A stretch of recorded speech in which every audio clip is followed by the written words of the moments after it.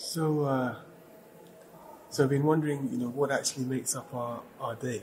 It's been great to participate in the liturgy in the morning and in the evening, going to uh, Eucharist, morning prayer, and, and evensong. Um, so the day is surrounded by uh, the liturgical prayer of the cathedral and within the community.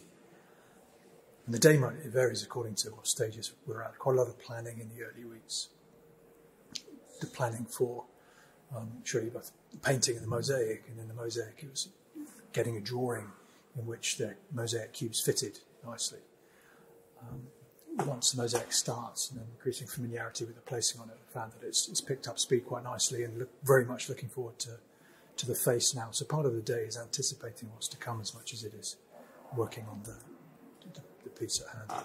I've been noticing how much how much time it's necessary, necessary just to spend looking at what one's doing. So maybe as much time as as much time looking at the pieces as, as making changes, especially stepping back as much as possible to see how it works from a distance, which we can do here quite easily because we're in such a nice big big space. It's possible to get you know 20 feet away from what we're doing and make sure make sure that it works from from different vantage points.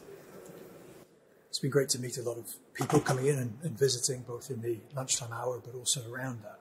I mean, what would you see as the, the real positives? It's been a joy to meet a lot of people with different skills, different interests, Well, different just, approaches. Just compared to our normal work, which is necessarily quite solitary in, in the studio with a visitor now and again, it's just been such a joy to have so many nice interruptions of encounters with people who are so enthusiastic about what we're doing. And that really kind of enthuses me anyway to carry on, to carry on, to carry on pushing the work. And also just to be surrounded by the fabric of the building.